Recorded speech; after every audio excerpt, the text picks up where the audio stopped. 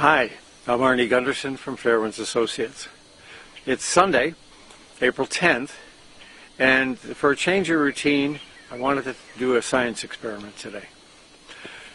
When back in 1978, I was the lead nuclear engineer on a project in upstate New York, and the company I worked for at that time bought the last nuclear reactor that was ever bought during the first nuclear renaissance. Uh, the project was later canceled, but as part of that, one of the things that the vendor gave me, who we bought the reactor from, was a piece of a nuclear fuel rod. This is a nuclear fuel rod. This is zircaloy.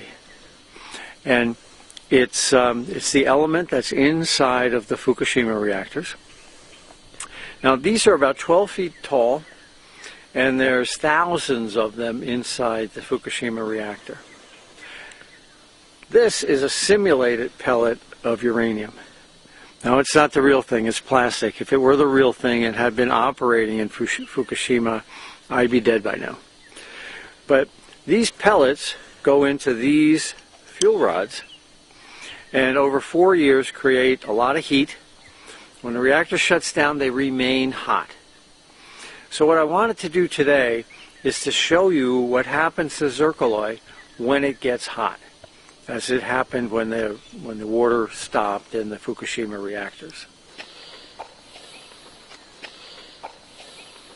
Okay, we've got our experiment set up here, and this is what we plan to achieve. Here's that fuel. I took the plastic out, and we're going to heat it with a torch to simulate the heat that's coming out of the inside. Then we're going to spray water on the outside and you'll see steam coming off, which represents the steam that's coming out of Fukushima right now. Now, in that steam is also hydrogen gas, because the water hits the zircaloy and creates not just steam, but, but hydrogen gas. This is my friend Jim. He's a, he's a great neighbor, and he's going to be the acetylene torch person.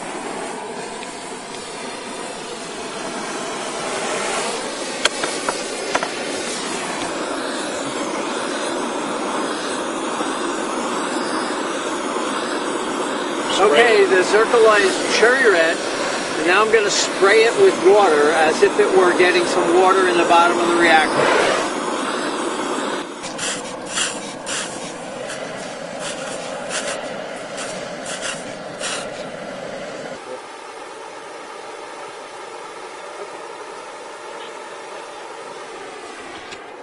For the next piece of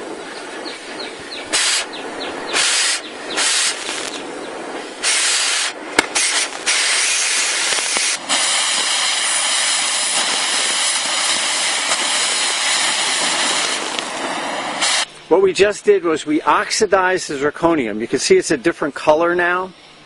The metal that was quite strong becomes very, very brittle. And uh, we were just able to break pieces right off the end of it.